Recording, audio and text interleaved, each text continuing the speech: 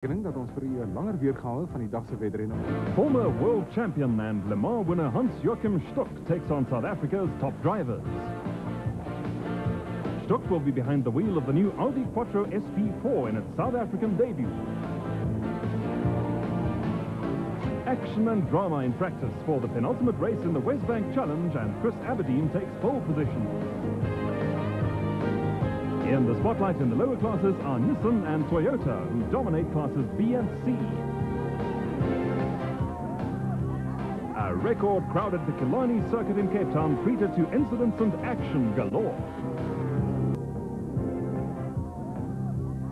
A record crowd at the Killarney circuit in Cape Town treated to incidents and action galore. Welcome to the fairest cape of them all, with majestic Table Mountain providing a regal backdrop to the Killarney Race Circuit, home of the Western Province Motor Club and some of the most vociferous race fans in South Africa.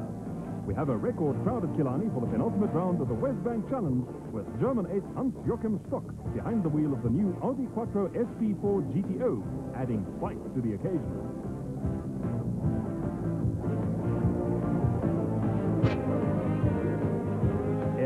It's break for those still in with a chance of championship honours. There's a touching note, too, with many of the competitors carrying get well messages for BMW works driver Tony Viana, who's recuperating after cancer surgery. Tony's teammate, local boy Dion Joubert, currently leads the Wesbank Challenge Championship and would like nothing better than to clinch matters at his home circuit. Healthy on between BMW and Volkswagen. We pick up the action during official practice with an early hint of controversy and action to come tires midway through the practice session. This contravenes the regulations, with comments from Wesbank Challenge controller Dick Sorensen. You pick a set of uh, compound tyres that you want to do your uh, qualifying on, and they're the tyres that you use for the first race. That's what the book says. Uh, I allowed them to put another set of tyres on because these sort of tyres were bad and we'll sort the thing out. I haven't made a final decision. I've got to discuss it with the clerk of the court. The Delta Racing Calibra in the hands of Mike Briggs suffers engine trouble early in the session, but all is well with the Audi camp, with Chris Aberdein showing his liking for Killarney by setting the early pace. When Briggs goes out onto the circuit again, there is no oil in the power steering system, and this needs topping up. There is more controversy when Aberdein and Ben Morgenrood are credited with the same time, and the organizers award pole position to Morgenrood. The Audi camp is unhappy and plead their case. No, just that these two were swapped around because Chris went out, and got the quicker time first. Ah, Okay, so he gets qualifying time. Aberdein takes pole with Morgenrood alongside him. Stuck is third with Sarel van der Merwe fourth after his times on the new set of tyres were scrapped. With the cars out on their warm-up lap for Heat 1, let's listen to what some of the drivers have to say. In, uh, for me, it's nice to come to South Africa. It's a nice place to be here, to, to spend racing here, to see all the fancy, having a, a poster made up, welcome Hans. It's, I mean, it's like at home. It's fantastic. Makes it nice to be here. Gives you a good feeling. I go really well here. The car goes well. I think the two hairpins suit the four-wheel drive system. Um, beginning of the year, we got pole position and won the first heat. We had engine failure in the second heat, but uh, yeah, it always seems to go very well here. I hope we can do it again today. I'd like to win today. It's very competitive racing. I think that's what uh, has been missing in the past in Wesbank racing. The cars by themselves are spectacular, and what we need is, is four, five cars having a good race, and I think I think that's what we've got now. We're certainly going to try and bring up our end of the bargain. We just need a win, and then we'll feel a lot better. I think it's good because I know this track backwards. I could around here, but I think it's blindfolded. But um, yeah, we're on pole. Well, we had a bit of a problem with the burnt valve, and we fixed that now, and the car's going even better. A full field of cars comes streaming down the Killarney back straight.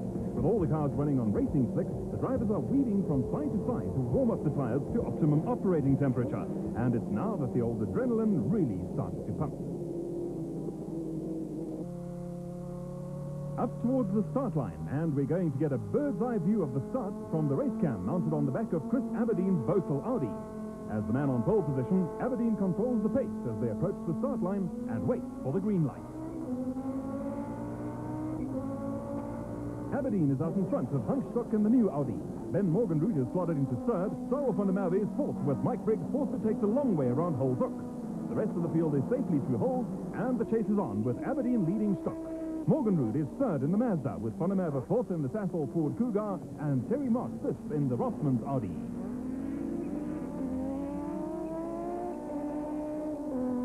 Into Volkswagen Corner they go for the first time with the Class B cars coming into the picture. The order up front is unchanged with Dion Joubert leading Larry Wolford and Johan Coetzee in the Class B battle.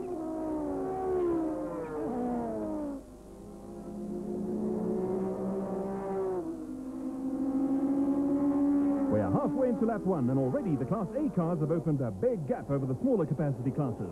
Down the main straight they come at around 260 kilometers an hour, and Stuck is going to have a look at getting past Aberdein under braking for Stanek. Some great pictures from Aberdein's race cam, and now we ride with Johan Coetzee in the Gearmax Nissan Skyline, who is on the thick of Class B action. Across the line go the leaders for the start of lap two. Aberdein leads Stuck, Morgenrood is still third, and der Merwe fourth and Moss fifth. Stuck is determined to let Aberdein know just where he is, with the former world sports car champion starting to pile on the pressure.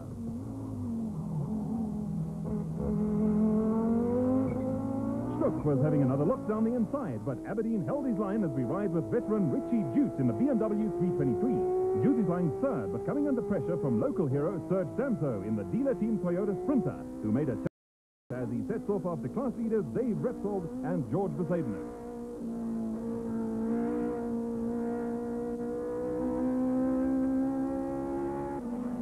We're on lap three with an anxious moment for Bezuidenhout in the Nissan Sentra as he takes to the dirt at Volkswagen. Up front, things are starting to happen with Stuck making another move on the inside at Stanek. Great action from the race cam, and it looks as though Stuck is through this time. And we have a new race leader. Aberdein is forced out wide, and Ben Morgenrood is also putting in a challenge. The man at work signs are up in the cockpit of the Sabat Nissan Skyline with Larry Wilford involved in a tremendous Class B dice with Johan Coetzee in the Gearmax Skyline and Dion Joubert in the Works BMW 325. Now we ride with former hot rod champion Johan Coetzee with Larry Wolford sneaking up on the inside as they approach the kink leading into the start-finish straight. World Sports Car Champion in 1985, twice the winner at Le Mans, and former German Touring Car Champion is a record that says it all for Hans-Joachim Stuck. There are some anxious faces in the Ben Morgenrood pit, with Stuck still out in front and being chased by Chris Aberdein, Morgenrood, and Terry Moss.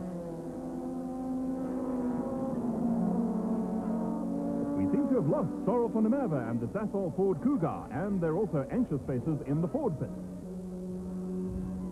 The Sasol Ford has dropped out on the circuit, and the exuberant Cape fans are giving a distinctly unhappy Supervan a roasting as he walks towards the pit.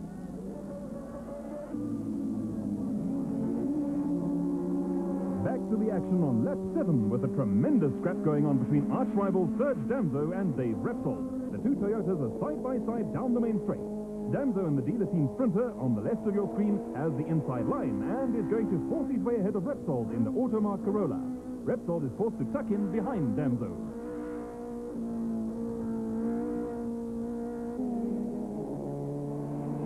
Up front, there has been a change in the order. It is now Audi 1, 2, and 3, with Hans Stuck leading from Chris Aberdein and Terry Moss. Ben Morgenrood is back to fourth in the Mazda. Back to the race cam on Chris Aberdein's car as he muscles his way past Dave Repsold in Holt Hook. Just look at the speed differential between the Class A supercars and the Class C runners. Behind Aberdein, a fired-up Terry Moss is looking to challenge for second place.